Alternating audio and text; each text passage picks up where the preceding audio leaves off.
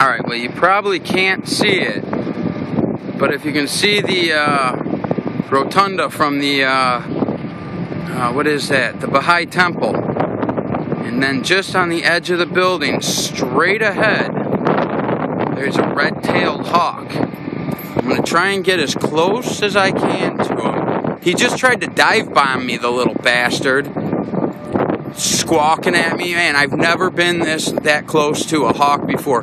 He flew over my head about maybe three to five feet, and I thought he was gonna try to attack me.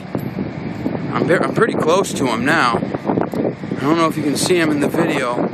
Wow, he's beautiful. Let's see how close is he gonna let me get.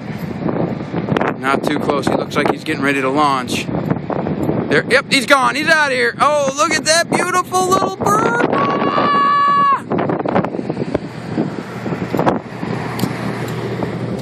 Come back here. I think he's stalking me.